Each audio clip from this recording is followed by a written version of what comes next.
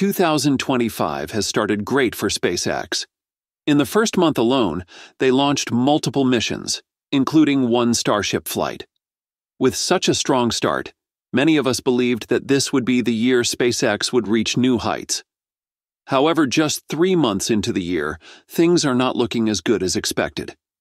The company is facing major failures and falling behind schedule, especially with their Starship rocket. In this video, we will talk about these failures and analyze how they might impact the company.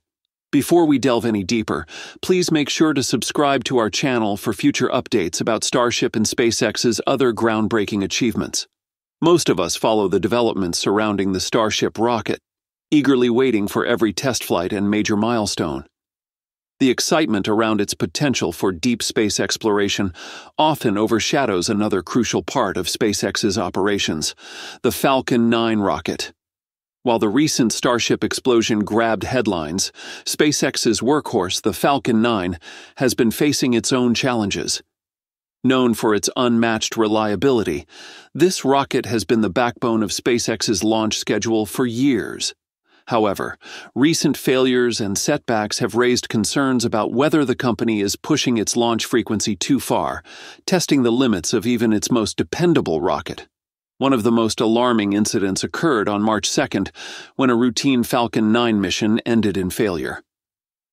About 85 seconds after liftoff, a fuel leak was detected in the booster, causing kerosene to spray onto a hot section of the engine. While this did not immediately lead to an explosion due to the lack of oxygen at high altitudes, the problem escalated after the rocket successfully landed on the drone ship.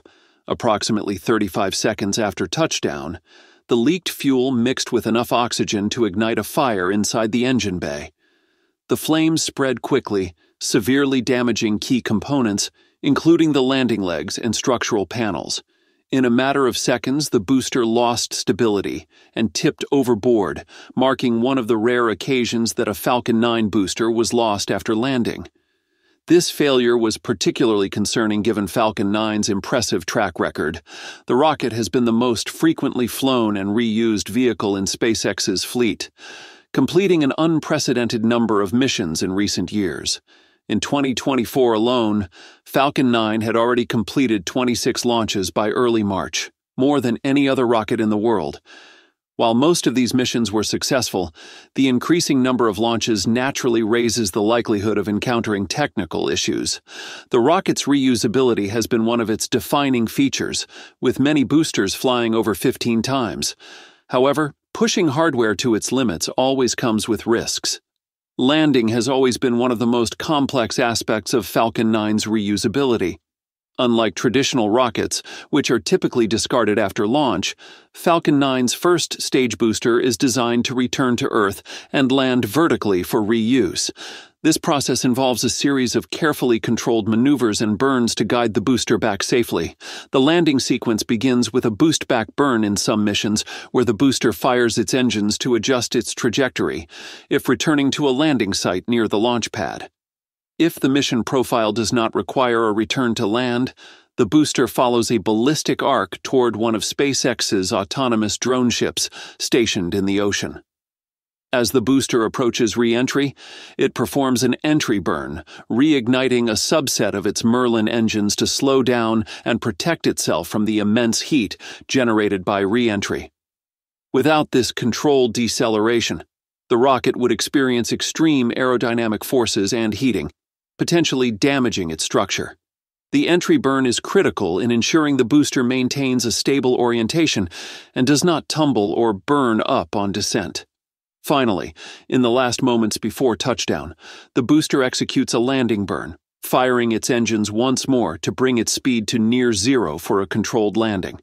During this phase, the booster extends its four titanium grid fins, which help steer it precisely toward the landing target. These fins play a crucial role in fine tuning its trajectory as it falls back to Earth, acting like the control surfaces of an aircraft. SpaceX employs two primary landing methods depending on the mission profile. Ground landings occur at one of two designated SpaceX landing zones at Cape Canaveral, Florida. These landings are preferred whenever the rocket has enough fuel remaining to perform a full return flight. The advantage of landing on solid ground is that it simplifies logistics, as the booster does not need to be transported back from the ocean, reducing turnaround time and refurbishment efforts. Drone ship landings are required for missions where the rocket does not have enough fuel to return to land due to the high energy required to deliver its payload into orbit. In these cases, the booster targets one of three autonomous drone ships stationed in the Atlantic or Pacific Ocean. These drone ships, named Of Course I Still Love You, Just Read the Instructions, and A Shortfall of Gravitas, are essentially floating landing pads equipped with powerful thrusters to maintain their position despite ocean currents. The use of drone ships allows Falcon 9 to conduct missions that would otherwise be impossible with traditional ground landings. Landing on a drone ship is significantly more challenging than landing on solid ground. The ocean surface is constantly moving due to waves, and despite the drone ship's thrusters working to keep it steady, the landing platform is never perfectly still. High winds and rough seas can introduce additional difficulties, making precise landings a complex task. SpaceX has refined its landing techniques over the years, using enhanced navigation systems, advanced algorithms, and real time telemetry adjustments to improve accuracy. In the past, landing failures were more common due to factors like hydraulic grid fin failures, engine thrust variations, or software miscalculations. However, today, Falcon 9 boosters have a high success rate in landing, with over 90% of missions successfully recovering the first stage. Despite these improvements, the increasing launch frequency raises concerns about how much stress the hardware can endure. The March 2nd failure was also not an isolated incident. Just a month earlier, on February 1st, another Falcon 9 mission suffered an upper stage issue. After successfully deploying its payload, the rocket's second stage was supposed to deorbit in a controlled manner. However, due to a liquid oxygen leak, the thrust vector control system froze, rendering the upper stage unable to maintain the correct trajectory. As a result, it re entered the atmosphere in an uncontrolled manner, with debris later found in a field in Poland. This was an extremely rare occurrence for Falcon 9, as SpaceX has a well established system for safely disposing of upper stages.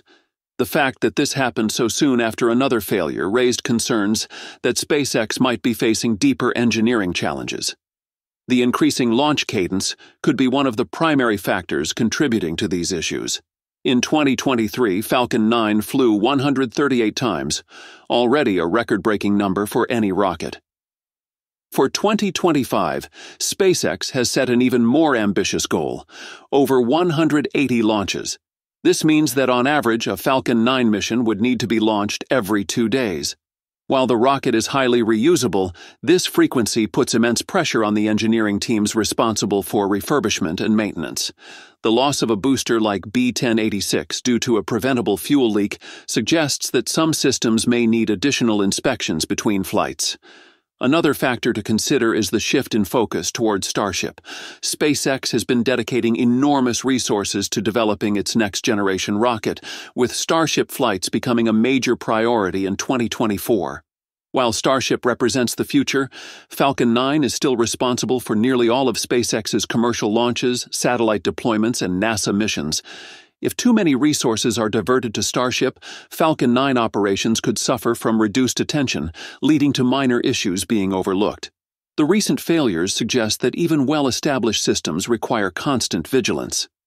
Despite these setbacks, Falcon 9 remains the most successful rocket in history.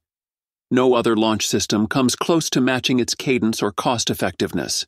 Even with the two major incidents in early 2024, the rocket has successfully completed more missions than any other vehicle. That's it for today's video.